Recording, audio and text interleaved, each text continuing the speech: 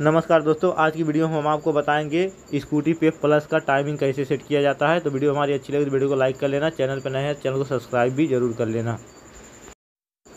Timing set करने के लिए सबसे पहले हम केम साफ़ के पास आएँगे। तो यहाँ पर देख सकते हो, इस तरह से हमें घुमा देख लेना है। केम साफ़ बिल्कुल फ्री रहना चाहिए। और उसके बाद यहाँ पे छोटा सा होल है, देख सकते हैं होल को हमें आगे की तरफ़ रखना है, कुछ इस तरह से।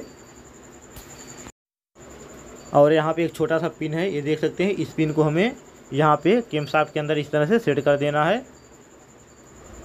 तो ये हमने सेट कर लिया है। केम का सेटिंग हमने कर लिया है। अब हम पिस्टन को टॉप पे करेंगे पहले।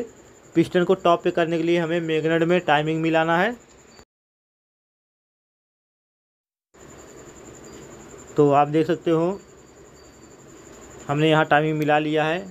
तो मैग्नेट के ऊपर आप देख सकते हैं, यहाँ पे एक मार्किंग बना हुआ है। यहाँ पे इस मार्किंग को हमें जो केसिंग में लाइने आया हुआ है, इसके बिल्कुल सामने रख देना है, आमने सामने बिल्कुल रख देना है तो पिस्टन अपना टॉप पे हो जाएगा। तो हमारा ये हमने इसको सेट कर लिया। अब हमारा पिस्टन टॉप पे है। अब हम इस चैन का एडजस्टर खोल लेंगे।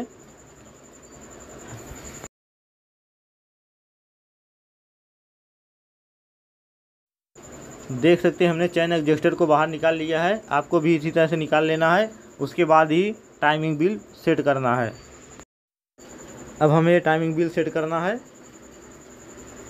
यहाँ पे छोटा सा होल देख रहे हैं आप। यहाँ पे जो होल है, ये पिन जो है उसके अंदर जाएगा।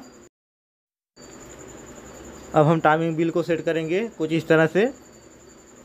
चैन को पहले ऊपर इस तरह से रखना है। इस तरह से देख सकते हैं। इस तरह से पकड़ के रखना है।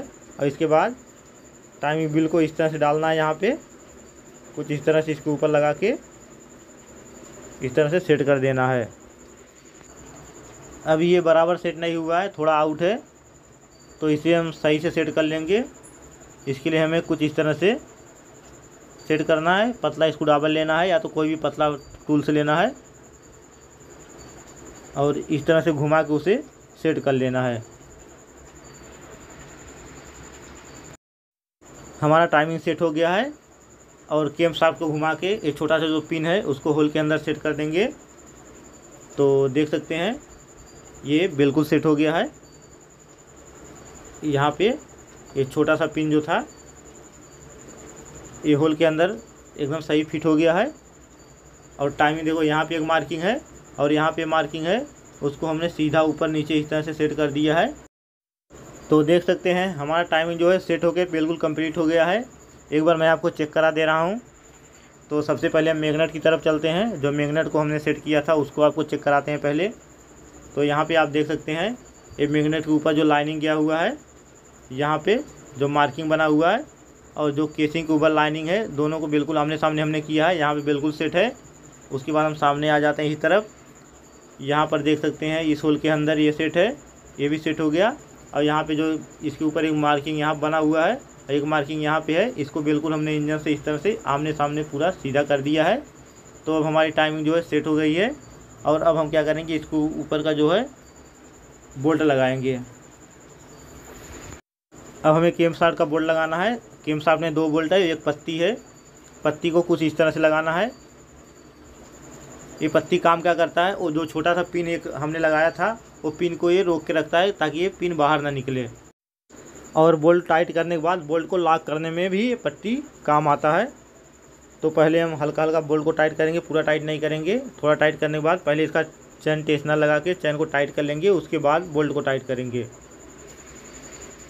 ये है हमारे पास चैन टेस्नर इसे लगाने के लिए हमें क्या करना है? इसको यहाँ पे इस तरह से दबा के रखेंगे और ये अंदर की तरफ़ चला जाएगा, इतना दबा देंगे तो इस तरह से। वापस इसको यहाँ छोड़ देंगे। और जब इसके अंदर ये स्प्रिंग डाल देंगे कुछ इस तरह से, इस तरह से ऑटोमेटिक ये बाहर फेंक देता है और चैन को टाइट कर देता है। कुछ इस तरह से, ये देखो कितना बाहर आ गया ना। अब ये अंदर की तरफ़ नहीं जाएगा। इसी तरह से चैन को टाइट करके रखता है। अभी इसको हम अगर इस तरह से दबाएँगे, इसको दबाएँगे तो ये अंदर जाएगा, लेकिन अगर उसको नहीं दबाएँगे तो देखो अंदर नहीं जाएगा। इतना कितना प्रेशर दबाएँगे, अंदर नहीं है, लेकिन इसको जैसे यहाँ पे ऐसे दबाएँगे तो अंदर चला गया। इस तरह से हमें अंदर रखना है इसको और गाड़ी के अंदर फिट कर देना है। फिट करने पहले हमें इसके ऊपर इस तरह से एक पैकिंग लगा लेना है। पैकिंग लगाने के बाद कुछ इस तरह से इसे यहाँ पे इस तरह से लगा के इसका बोल्ट टाइट कर लेना है। तो हम दोनों बोल्ट को टाइट कर लेंगे और अब हम ये स्प्रिंग को अंदर डालेंगे और ये बोल्ट को टाइट कर लेंगे। जैसे हम स्प्रिंग को अंदर डालेंगे और ये बाहर की तरफ़ वो निकलेगा और चैन पैड को दबा देगा और चैन पैड जो है, चैन को दबा देगा और चैन जो है, टाइट हो जाएगा। तो इसे कुछ इस तरह लगा के फिट कर लेना है। उसके बाद हमें केम साफ्ट का बोल्ट टाइट करके लॉक कर लेना है। तो हमने केम साफ्ट का आठ नंबर का दोनों बोल्ट को टाइट कर लिया है। टाइट करके पत्ती को बैंड करके उसे लॉक कर दिया है। अब हमारी गाड़ी का टाइमिंग सेट होकर बिल्कुल कंप्लीट हो गया है। एक बार और हम चेक कर लेंगे टाइमिंग को। टाइमिंग बिल के ऊपर जो यहाँ पे एक मार्किंग है और एक मार्किंग यहाँ के है, बिल्कुल हमने इसको सीधा कर लिया कुछ इस तरह से हेड के बराबर। आपको भी इसी तरह से कर रखना है, और मैगनेट के पास मैं आपको दिखा दे रहा हूँ। मैगनेट का जो टाइमिंग है मैगनेट के ऊपर यहाँ पे एक छोटा सा मार्किंग है, ये मार्किंग को, और जो केसिंग के ऊपर ये लाइनिंग है, इसको बिल्कुल आमने सामने कर दिया हमने।